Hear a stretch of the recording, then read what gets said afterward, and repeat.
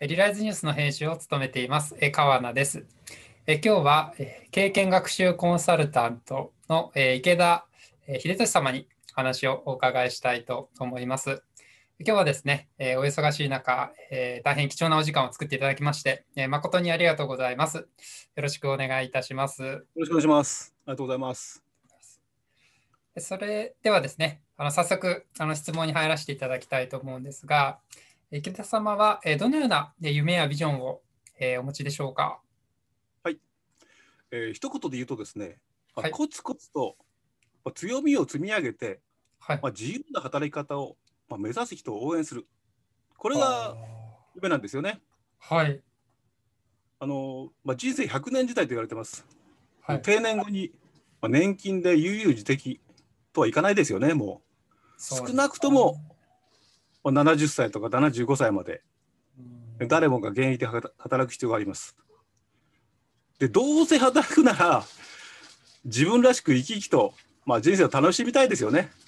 まあ、自由に働くと思います。はい、ではどうしたら自由な働き方ができるのかそれが実現できるのかと考えました。はい、で会社が求める、まあ、働き方2つのタイプがあると思うんですよ。はい、目がですね組織の提供する仕組みを使って、まあ、成果を上げる人これが1つ目。はい、2つ目がですね、まあ、組織の仕組みをそれ自体をアップグレードできる人この2つの働き方があるんですよ。なるほどはい。ええ、で問題なのは、はい、組織の提供する仕組みを使って成果を上げる人なんですよ。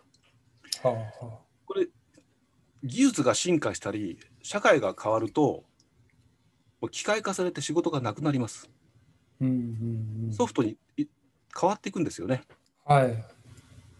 でもう一つ大きな問題があります。グローバル化すると、まあ、競争にさらされるんですよ。はあ、世界の中で一番安くしてくれる人にその仕事がいっちゃうんですよ。はい。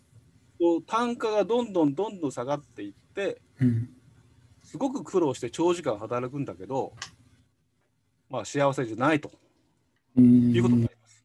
はい、これ苦労してる人いっぱいいると思うんですよね。うん。じゃあどうしたらいいか。目指すのは組織の仕組み自体を、まあ、アップグレードできる人になると。これしかないと思うんですよ。じゃあどうしたらいいのかってことなんですが、はい、あの現場で、まあ、気づいて考えて工夫したことこれはあの現場の知恵としてコツコツ積み上げることだと思うんですよね。うんうん。まあ、資格を取ればいいとかね。経験を積めばいいとかいうだけではもうちょっと無理なんですよね。はい、5年10年20年。自分で考えて工夫したことをノウハウとして積み上げていくと。誰かに教えられる、まあ、知恵の商品として、まあ、1枚の紙に、まあ、一概念一応にして積み上げたそれがたくさんたまればたまるほど一番たまったものが自分の得意分野になるんですよ。でこれじゃあ業種変わればどうなのって話になるんですが、はい、実はこれ同じことがね抽象度を上げれば、業種変わってもね使えるんですよ。転用できるんです。うん、なぜかというと、はい、現場で考えて情報を構造化するっていう力がつくですよね。うんうん、この構造化する力はどこにも使えますし全く違う業種から違う業種に持ってくるっていう例はたくさんあるんです。うんうん、ちょっと簡単に言うと肉の解体工場を見た人、はい、すごいものを作ったんですよ。へえ。あの T 型フォード。ああ。はい。のをずっと入れていって小割りしてパックされた肉に小割りしていく過程を逆にしたのがフォードの生産ラインなんですよ。へ全く違うでしょ？うんそういうことが起きるできるんですよね。だからあの、まあ、魔法のような方法論はないんですよ。コツコツコツコツ積み上げると。これしかないんです。あの経験が光らないって言いますよね。まさにそうです。はい、この強みを持って、はいまあ、いろんな複数の組織と、まあ、会社といろんな契約形態で契約すること、うん、それを働くんですよね。でこれがないと結局長時間どっかに行って勤め上げるということになるんですよ。はい。強みを持つことによって、まあ、自分らしく生き生きと、まあ、人生を楽しむという、まあ、自由な働き方の土台になると思うんです。この土台作りを応援したいっていうのが僕のあの目指していることなんですよね。あこのことでいいでしょうか？あありがとうございます、えー。この組織自体をアップグレードさせていくっていうのは、なんか特に日本人には必要な力かなっていうのを、これからですね、すごく感じました。はい、やっぱその組織の中であのやっていくっていうのは非常にあの上手というか、たもうすでに長けているところだと思うんですけど、ただそれ自体を変化させていくっていうのは、ちょっとやっぱりこう苦手な部分というか、あのところかなとも私はちょっと感じるところあるので本当にこれからの日本に特に必要なことではないかなっていうのを個人的に感じました。はい、ありがとうございます。どうぞ。では、えー、そういった夢やビジョンを具現化するために、えー、どのような目標や計画を立てておられるでしょうか？はい。目標は3つあります。簡単に言うと、まあ、誰もが自分の強みを積み上げて、まあ、活躍できる、まあ、技術の普及と、まあ、仲間づくりなんですよね。まあ、1つ目はですね、現場の知恵を積み上げる、まあ、技術の普及と思ってます。はい、この技術の基本はあの情報の構造化なんです。うん、仕事を構造的に理解すれば問題が見えてくるんですよね。うん、構造がすることで、まあ、どこにどんな問題が潜んでいるか見えてくるので、はいはい、見えると、まあ、的確な、まあ、改善を出しやすくなります。うん、あの問題なのが思いつきで出すんですよ改善案を。でやってみてダメだどうしようか。はいはい、でも因果関係だとか方眼関係だとかそういう構造でしっかり理解していればどこに本当の問題があるか見えてくるんですよね。このまあ、情報の構造化、この方法論を広めたいと思ってます。これが1つ目です。はい、2つ目がですね、まあ、現場の知恵を、まあ、共有する、まあ、刺激し合える仲間を増やしたいと思ってます。はい。の現場の人がまあ現場でこういろんな体験するんですよね。いろんな業種やいろんな職場で体験しました。はい。そこを発見して、まあ、知恵にする。うんまあ、それをまあ教え合うとか、はい、私はこんなふうに発見したんだよとか、こう考えたんだよとかと教え合う。はいはい、ここでこんな失敗したんだとかね。はいはい。この失敗をどうあの乗り越えたかとかっていうことを、うんうん、あのちょっとした気づきとか、はい、体験、この情報を構造化したことを教え合いながら、まあ、お互いに学び合える、まあ、刺激し合って学び合える、まあ、フリーな、うん、まあ、組織じゃなくてね、環境を築きたい。はい、これが2つ目です。はい。3つ目なんですが、はい、今63歳なんですよね。はい。あっという間に63歳になりましたけど、はい、あの平成元年から独立して、まあ、はい、約あの1万枚を超えるパワポン持ってるんですよ。へえ。現場でコツコツと自分がうまくいかなかったなとか、はいえー、こういうことはこうやったらいいんだなじゃないかなとか、はい、いうふうにこれを使って、まあ、図解思考だとか経験学習の講座の講師をやらせていただいてるんですが、はいまあ、どうでもいいのもいっぱいあるんですよね1万枚の中には。はい、この1万枚を使って、まあ、講座いろいろやってもらってるんでこれをあと10年で、うん、あと10年経つと73なんですよ。はい。これを2万枚にあと1万枚増やそうと。ああ、なるほど。まあ、あのどんどんかける力がついてきてるんで、まあ、2万、あと1万も大丈夫と思うんですが、これはあの刺激し合る仲間に、まあ、共有財産としてね、私は提供、著作権もあげちゃうよと、自由に変更して使ってねというふうにしたいと思ってるんですよね。で、私の作成したパワーポを土台にして、はい、自分で作ったものをこう足し上げていって、あするための、まあ、ノウハウを充実させてもらいたいなと。でその頃は私はもう70、まあ、3、4、5ぐらいになるんで、はいまあ、だんだん引退に近づいてくると思うんで、あみんなに使ってもらって、たまに相談なんかさせてもらえれば、まあ嬉しいという感じで考えています。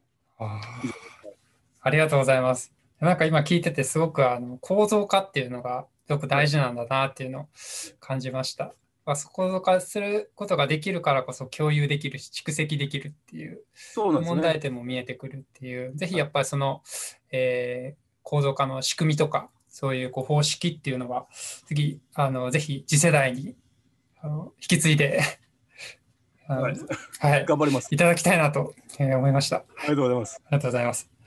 えー、それではですね、そういった、えー、夢やビジョンを、えー、描まあ、実践していくのに、現在どのような活動指針を持って、どのような活動をされておられますでしょうか？はい。えー、一言で言うとですね、まあ、経験とか年齢にとともにこう衰える能力と伸びる能力があるんですね。はい、それを伸びる能力にシフトする、その準備を手伝ってます。はいまあ、どんなことかでいうと、はい、まあ、20代、30代でやってきた仕事が、まあ、50代、60代ではできないですよね。あ技術が進化するので、はいはい、仕事自体なくなります。うん、体力衰えます。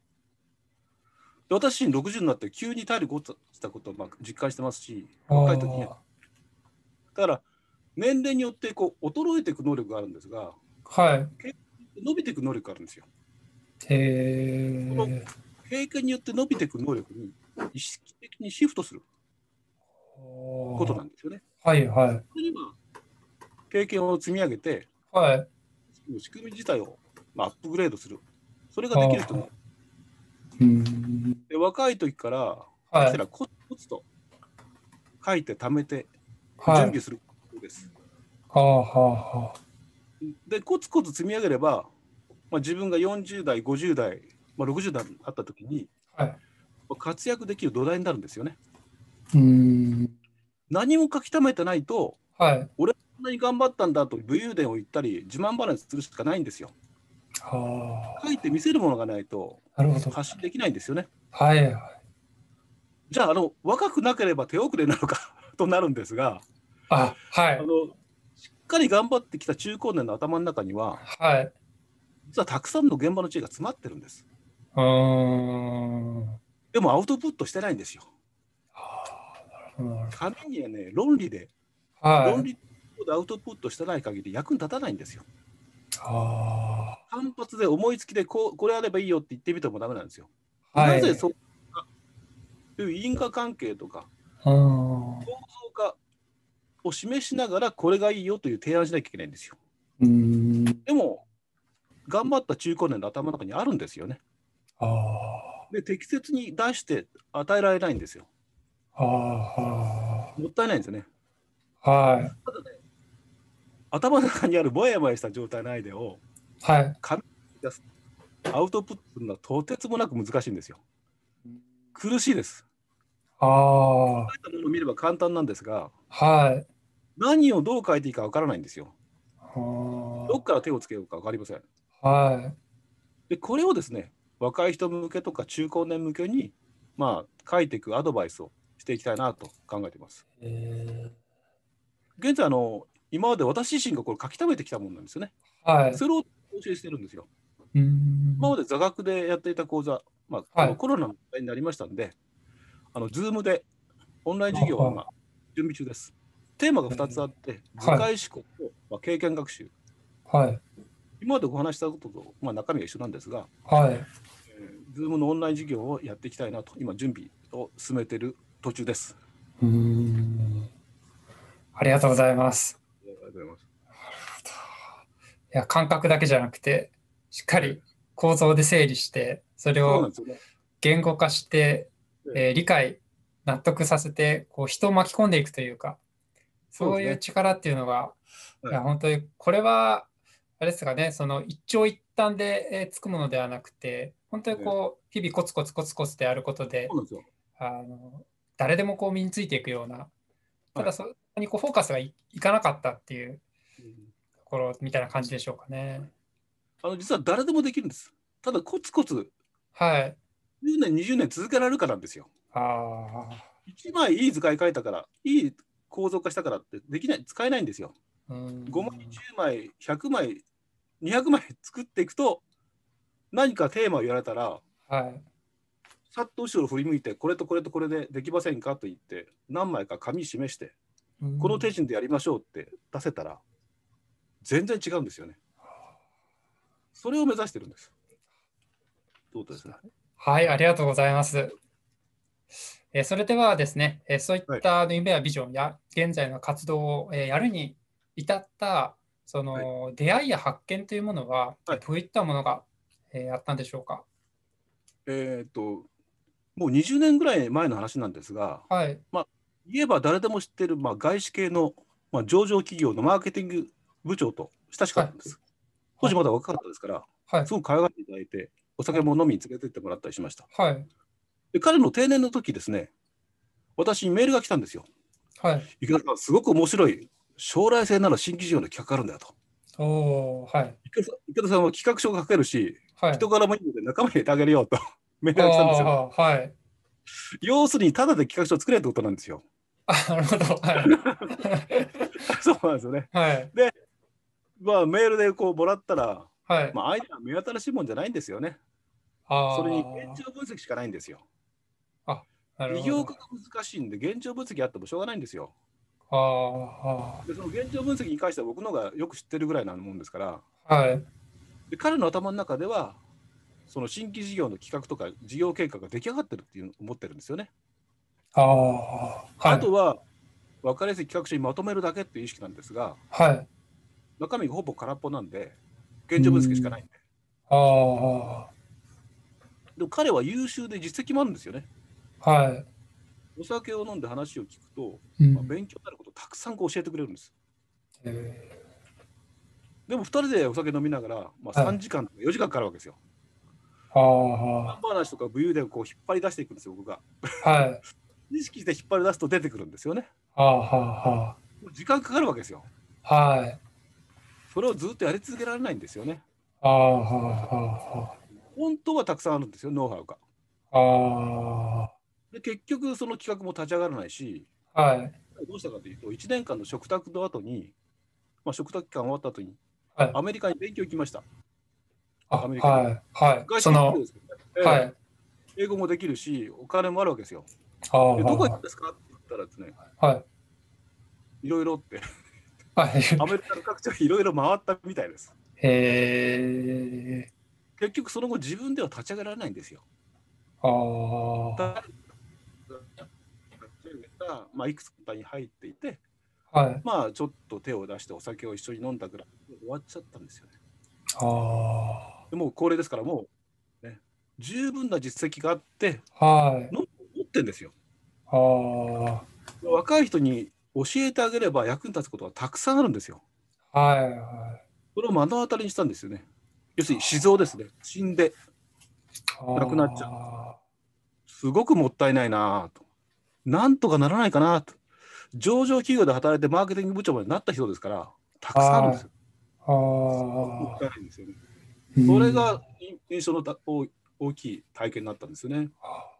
えー、いや、それは本当にもったいないですね。もったいない、もったいないんですよ。もったいないです。ただ引き出すのに時間かかるんですよ。ああ、なるほど。なんかちょっと大きな観点になるかもしれないですけど、やっぱその、ええ、日本っていうとか、まあそういう社会全体ってしたと考えた時にも、え、まあそういう蓄積されたすごくいいものがこう次に引き継がれないで、そうなんですよちょっと埋もれちゃうっていうのは、すごい社会的な損失でもあるなっていうのを感じました、そうですね。はい。もったいないなと思います。うんはいえー、そうしましたらですね、えーはい、そういったあの出会いや、えー、発見のさらにその背景には、えー、どういったものが、はい、えー、割りだったんでしょうか？はいあの私が働き始めた、まあ、40年ちょっと前はですね、はい、まだまだ定年まで勤め上げて、まあ、第二の人生で、まあ、年金で有事的っていうのが普通だったんですよね。はい、だからあの大きな会社に勤めることが良かったりとか、はい。まあ、公務員志向もこの頃からですね、私の同級生でも学校の先生になったり公務員っていうのが結構増えてました。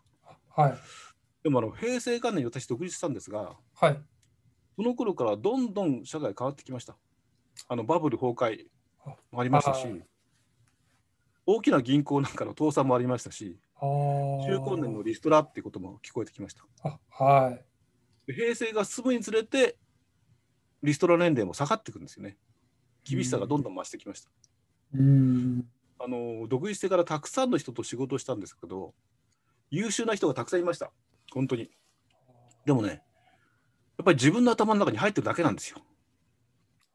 自分は何ができるか、はい、あの論理で語れないんですよ。するとどうなるかというと、なんとか会社で何々を何年間やってきましたというふうな発信しかできないんですよ。あ要するに具体的な細かいレベルでこういうことを学んで、このだったら上手に立てるよっていうことを出せないんですよね。うん、だから同じような環境を与えられて、はい、そこでだったら活躍できますよというしかないんですよね。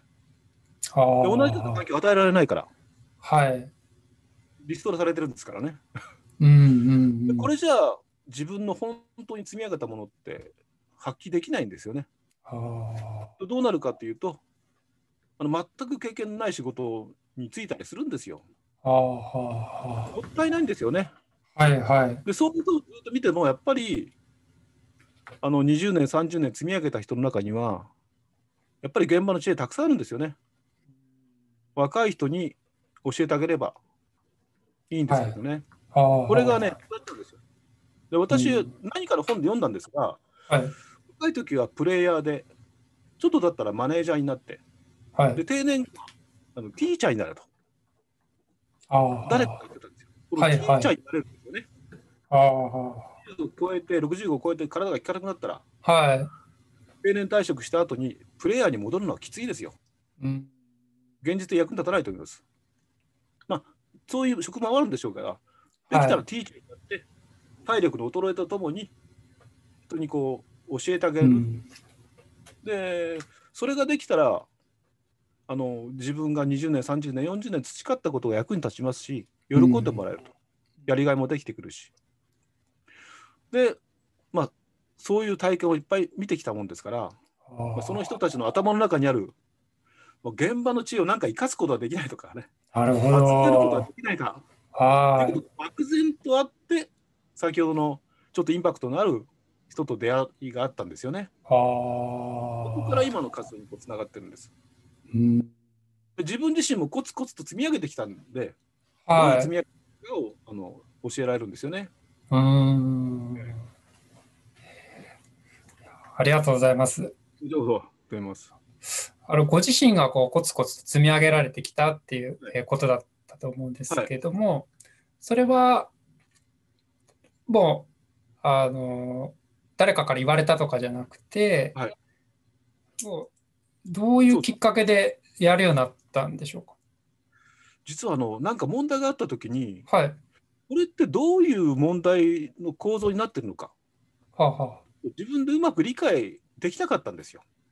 はあ、で箇条書きレベルで書いててもわからないんで、はいはあ、じゃあ図にしたんですよ。